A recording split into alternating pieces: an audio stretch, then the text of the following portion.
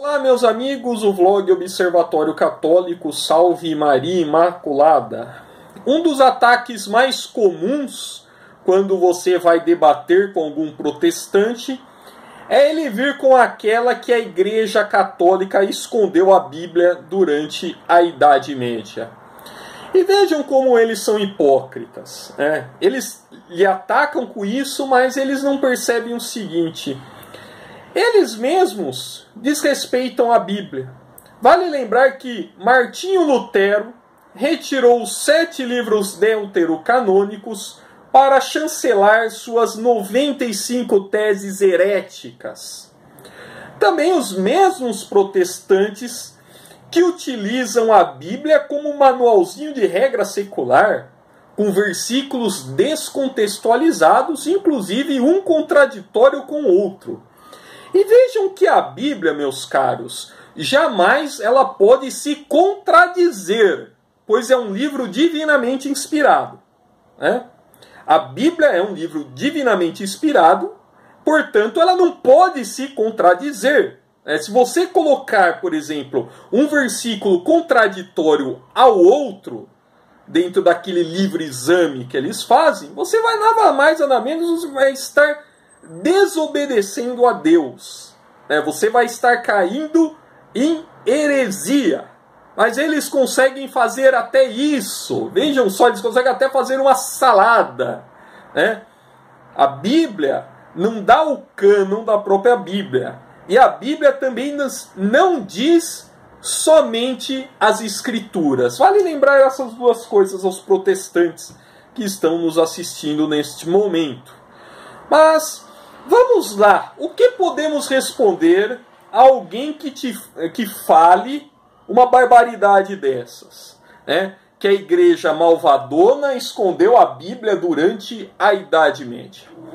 Bom, primeiramente o povo não tinha acesso à Bíblia, pois simplesmente não existia uma forma de impressão de grande quantidade de exemplares.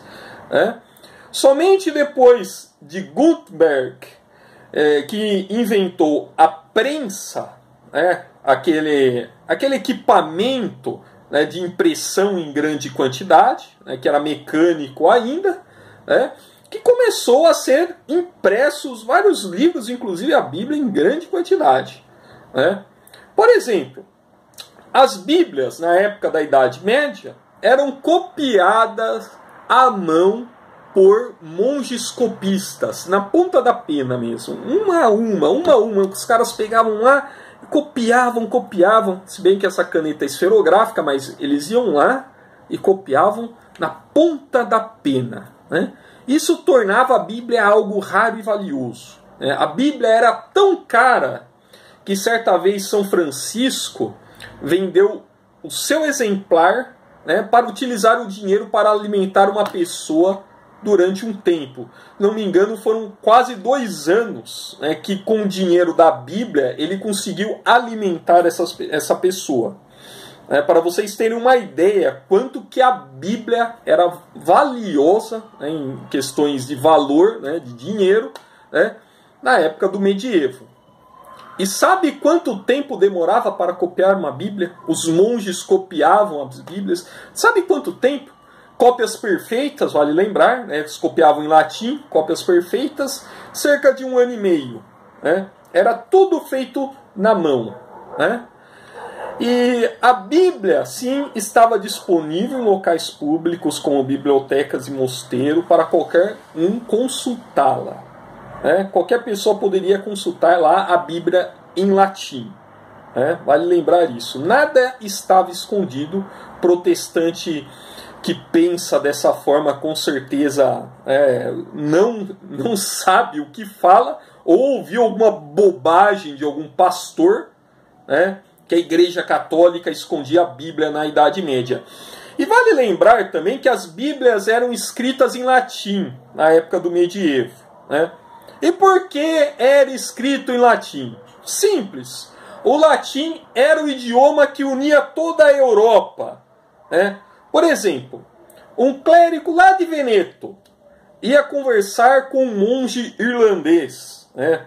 Ou um padre galês ia conversar com um colega, um padre inglês. Como eles se conversavam se eles não, não sabiam um idioma do outro? Né? Eles falavam em latim. Pelo latim eles, eles conversavam. Né? O latim era o idioma comum da Europa medieval. Hoje é o inglês o idioma comum. Por exemplo, quando eu vou conversar com um colega meu que trabalha numa empresa lá na Alemanha, eu não sei alemão, é, mas eu utilizo o inglês para conversar com ele, porque ele também sabe inglês. O meu colega germânico não sabe português e eu não sei alemão. Então nós conversamos nesta língua. Antigamente, na época medieval, era o latim. É, você intercambiava informações via latim. Por isso que a Bíblia era escrita em latim. É outra bobagem que sempre falavam. Olha, a igreja queria manter a Bíblia longe, por isso que ela escrevia em latim. Não, não é por causa disso, protestante. Não fala bobagem, pelo amor de Deus. Não fala bobagem. Por favor, né, nos poupe dessa bobagem. Né, já está explicado aqui. Agora, sobre uma questão das Bíblias traduzidas né, em idiomas locais, por exemplo, em inglês, em francês. Né, por que o Papa Paulo V, o mesmo que condenou lutérico, né, no século XVI, fez regras que restringia o acesso século XVI, fez essa regra. Né? O Papa era malvadão, ele não queria que o povo tivesse acesso à Bíblia, ou não queria que a Bíblia se popularizasse, né? Não, não.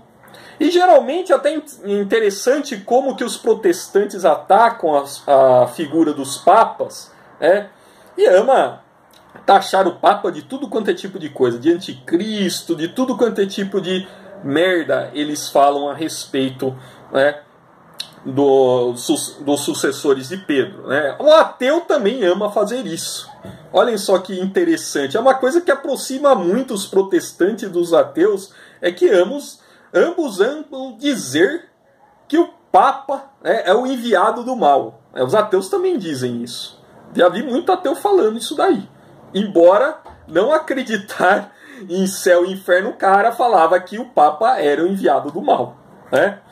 Mas as restrições que foram feitas naquela época, no século XVI, eram porque os cátaros estavam usando a Bíblia traduzida para colocar loucuras, inventar todo tipo de heresia.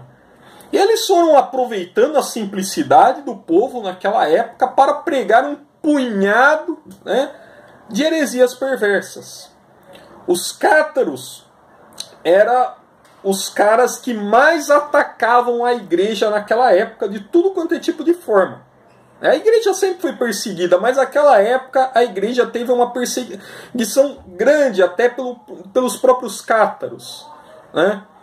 E a igreja, em 1229, também no concílio de Toulouse, teve que provisoriamente colocar regras, né? pois estava virando bagunça aquilo.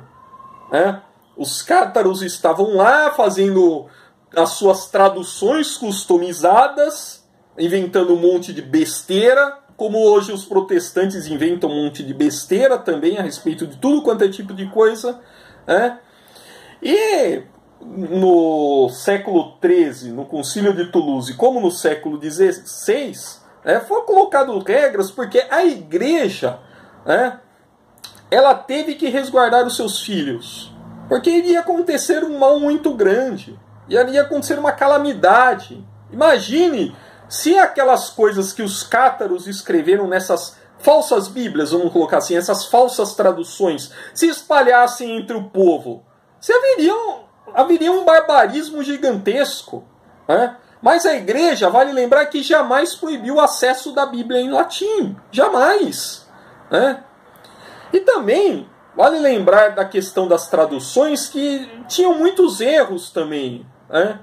que estavam começando a, a, a haver Bíblias traduzidas erradas também, com trocas de palavras. A igreja sempre teve um zelo, principalmente com as Bíblias, né? com as traduções. Né? Somente depois daquilo lá ser revisado em concílios, inclusive, que aquilo lá foi traduzido definitivamente e depois foi traduzido para o idioma local. Né? Por quê? Porque havia necessidade de se revisar o que iria ser dado ao povo. Né? Então não havia como você simplesmente dar uma Bíblia para o sujeito escrita por cátaros. Né? Imagine a quantidade de relativismo que nós já teríamos naquela época. Né? A igreja sempre combateu o relativismo. Vale lembrar isso. Diga sim quando é sim e não quando é não. Simples, não tem essa história, ah, meio assim, meio assado. É como o protestantismo fala. A igreja é totalmente antagônica a isso.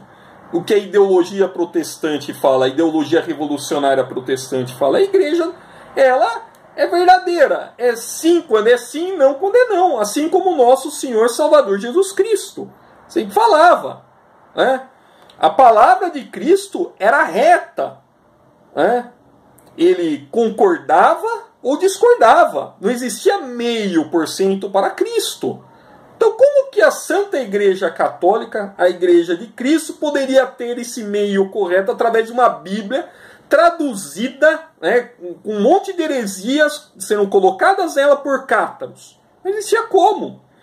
Então, vale a pena nós sempre conversarmos a respeito dessas questões da Bíblia, porque os protestantes ou eles saem por aí propagandeando essas coisas porque o pastor falou, eles não procuram saber a verdade. Há protestantes que procuram saber a verdade, alguns que escrevem aqui, nós respondemos com toda com toda educação, todo zelo, nós respondemos aqui, e há protestantes simplesmente saem falando besteira, saem falando sandice. Ora bolas!